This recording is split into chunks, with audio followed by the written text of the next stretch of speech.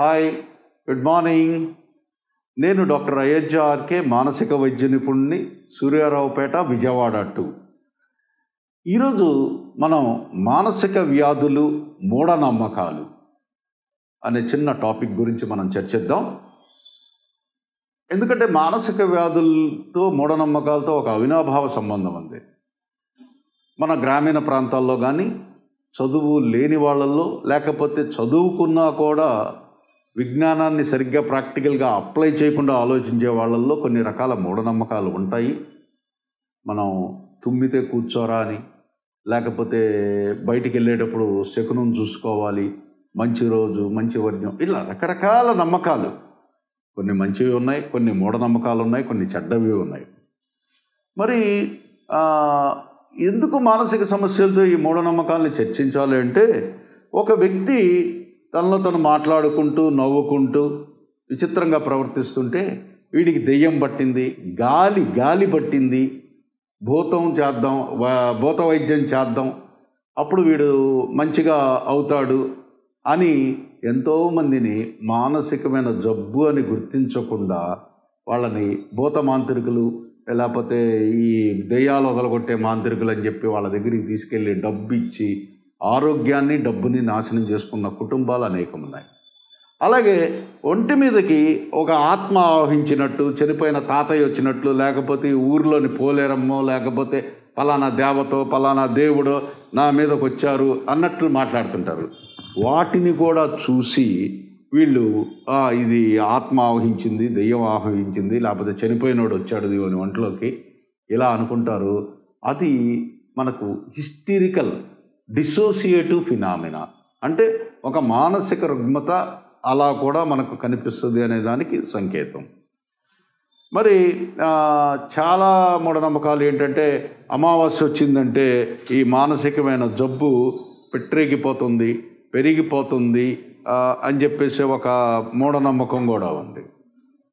అమావాస్య అంటే lunar months వల్ల కొన్ని సమస్యలు కొంచెం అటు ఇటుగా ఉంటాయి కానీ ఈ ఉన్మాదం స్కిజోఫ్రీనియా బైపోలార్ డిజార్డర్స్ వీటి పట్ల అంత స్పష్టమైన ఎవిడెన్స్ ప్రూఫ్గా లేదు.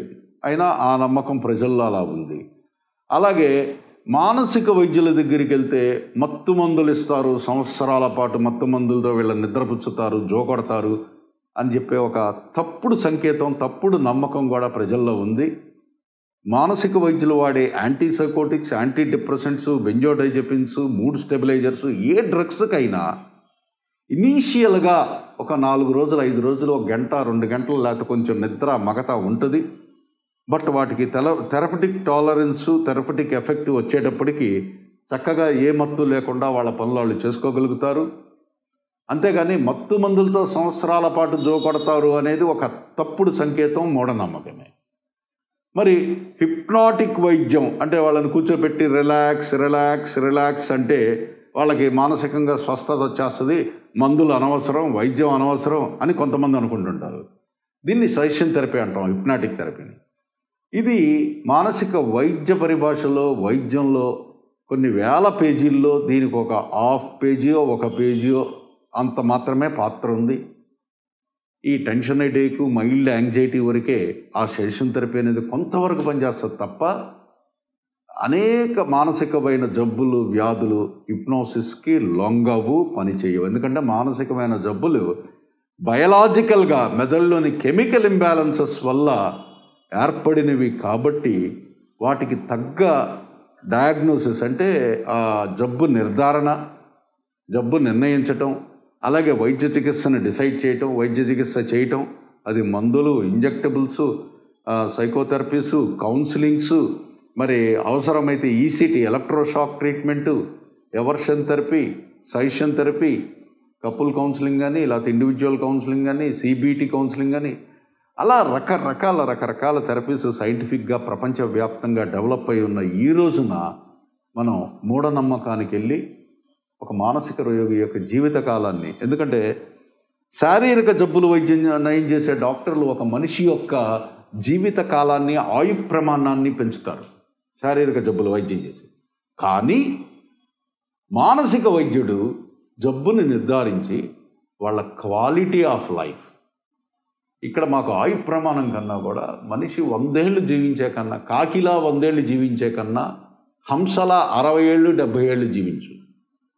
అంటే మనిషి జీవించినప్పుడు ఆనందంగా సంతోషంగా ఆశావాహ దృక్పథంతో చక్కటి ఎమోషన్స్తో ఫ్యామిలీ బాండేజ్తో సోషల్ బాండేజ్తో అన్ని విధాలా బాగుంటేనే అతను ఆరోగ్యంగా ఉన్నట్టు. ఎందుకంటే డబ్ల్యూహెచ్ఓ వరల్డ్ హెల్త్ ఆర్గనైజేషన్ ఏం చెప్పింది?